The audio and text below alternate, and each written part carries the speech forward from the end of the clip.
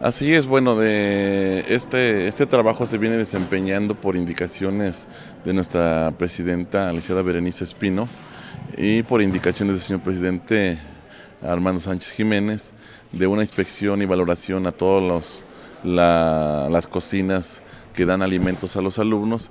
Y bueno pues este de entrada teníamos la exigencia de las de las encargadas del comité de que tuvieran un, un, extintor en buenas condiciones, recargado y más, más grande, toda vez de que el que existe, bueno, era de un kilo a kilo y medio, entonces hablamos de que eran extintores muy pequeños.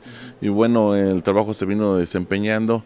En primera verificando las fugas de gas, dando las recomendaciones, encontramos varias y bueno, en coordinación con los compañeros y el sistema DIF se, atendieron las fugas.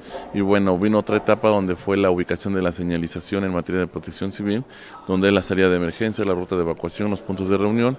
Y bueno, en esta ocasión eh, en coordinación con el DIF y encabezando este, este proyecto la licenciada Berenice Espino, bueno, se hace la entrega de 33 extintores a las cocinas que de mucha importancia son, toda vez de que de, manejan lo que es el gas LP y bueno, presentan fugas y se les dio la capacitación de vida eh, para utilizar lo que es el extintor. El evento eh, de la entrega de los extintores a todas las a los responsables de las cocinas y bueno, en un espacio eh, se tuvo que darles la capacitación a todas esas personas, principalmente manejando algunos temas de importancia.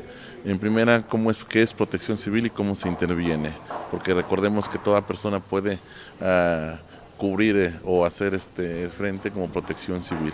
En segunda, valoración de una escena, activación de, la emergencia y bueno, prácticamente lo que es teoría en los componentes, las partes y el comportamiento del fuego. Y bien lo mencionas, al último se hizo una práctica en base a lo que se les impartió y bueno, el resultado de ello fue que prácticamente las las cocineras eh, controlaron el, fuego en dos puntos, en lo que fue primero en un tanque de gas LP y bueno, y te presentaba una fuga, un, gas prácticamente en llamas y bueno, el, otra, otra parte donde bueno se, se simula un incendio de que es de eh, escombro o de papel o cajas. Y bueno, pues el resultado eh, fue benéfico.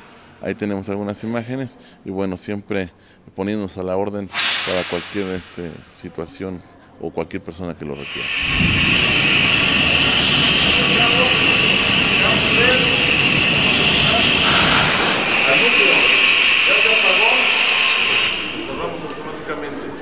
Siempre a distancia. Ya disparé.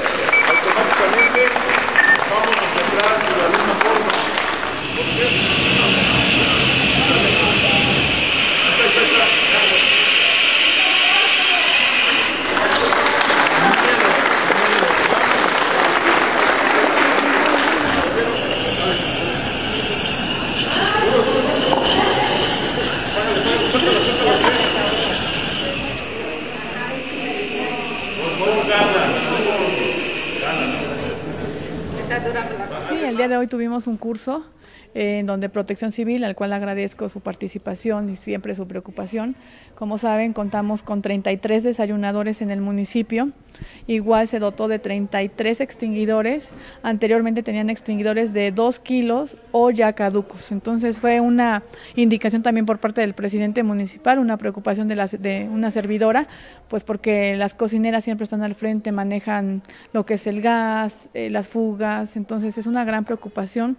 Se les dotó de 33 eh, extinguidores a cada uno de los desayunadores. De igual manera, se les dotó también de medicamento como paracetamol, naproxeno, ambroxol, todo aquel medicamento que ocupan eh, para, para, los niños, ¿no? para la salud de los niños. Sí, equipos nuevos donde DIF municipal hizo ese, esa compra y pues con mucho gusto con recurso del ayuntamiento que cada mes con mes nos dan participaciones el ayuntamiento, con eso DIF municipal está reequipando o está dotando de extinguidores a los desayunadores. Ya contaban con, con extinguidores, pero en muchas ocasiones o ya estaba caduco o era de muy pequeña capacidad. Sí, es una gran preocupación y sobre todo por lo que vivimos aquí en, en cabecera, aquí en Zacapuaxla, que fue pues un parteaguas para para todos los ciudadanos, ¿no? El ponernos alertas, el estar eh, prevenidos y sobre todo saber cómo utilizar o cómo manipular los extinguidores.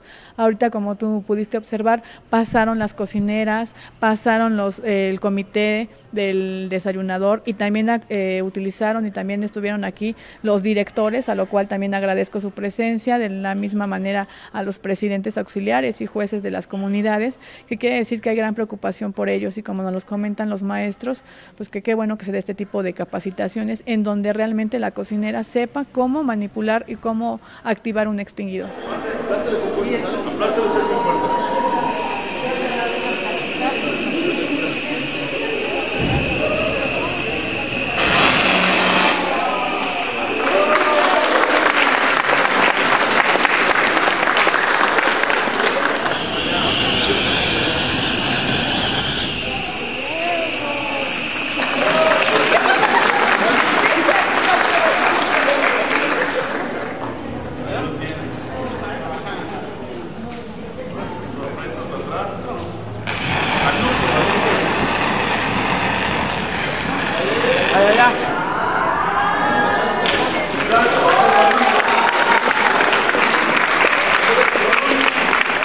Así, así es. Eso es una, es una parte importante y nosotros lo vimos, o inclusive en las imágenes que pasaron en su oportunidad en, en su canal, eh, del incendio que tuvimos aparatoso había gente que activaba los extintores y prácticamente los enfocaba a las llamas y bueno, que esto es un error.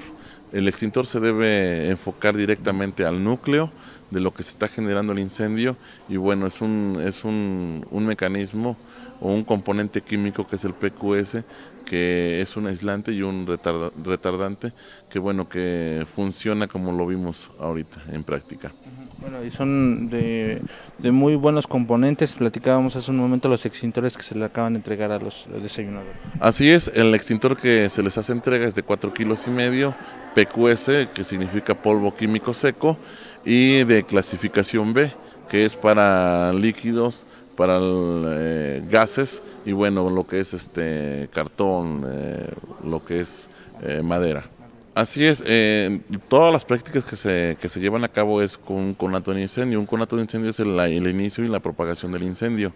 Es como se hace, eh, se valora la escena, ya lo mencionamos ahí en las pláticas, y ellos hacen su intervención. Eh, quedó bien claro en, en, las pláticas que tuvimos que en la valoración de la escena, si ven que es un incendio que supera sus condiciones, en primera de, conocimientos y en segunda de, equipamiento, pues bueno, es inmediato que activen el sistema de emergencia, que ya lo platicamos, y que llegue eh, en ese punto, ya sea protección civil, bomberos, o dependiendo la, la condición que sea.